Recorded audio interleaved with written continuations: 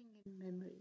Today's topic is how to preserve Quran or Hadith in your memory. Regarding that, we'll see the Hadith. أعوذ بالله من الشيطان الرجيم بسم الله الرحمن الرحيم Abu Musa Ashari radiallahu anhu relates that Prophet ﷺ said, Preserve Quran in your hearts. By Allah in whose hands lie the life of Muhammad ﷺ, it goes out of memory faster than a camel escape from its rope. This is in Bukhari and Muslim. So here what we learn. So when you start learning Quran, you are memorizing it. If you stop doing it, it goes uh, I mean, ibli fi biha. And here, uh, how if a camel, uh, you know, break the rope, and goes away runs away the same way it is so faster when you recite Quran and you are not repeating your lesson it will go out of your memory that faster it will go. It's not only just memorization, word meaning.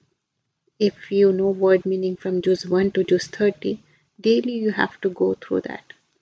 Either you teach it or uh, you learn it or you get involved into the Quran by uh, you know taking more courses or teaching more courses so that's the only way you can retain it. If you don't retain it, it goes off.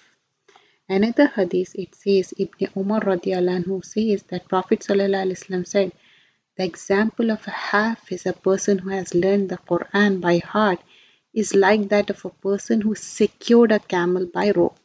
If he looks after it, he holds it. If he neglects it, it goes away. You understand? Like, you know, you holding the camel rope. If you leave the camel rope, it will run away, isn't it?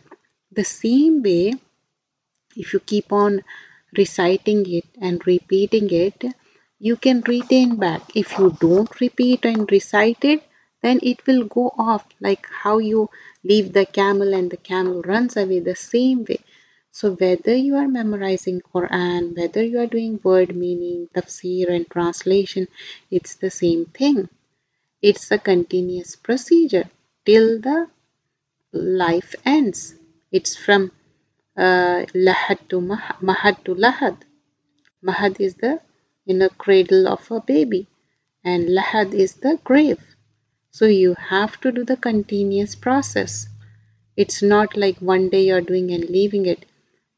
When you go back and see the memorization part, if you try to retain it, you're not able to because you're not repeating that. The key thing is repetition. You have to retain it only by repeating it. Khairan kasira.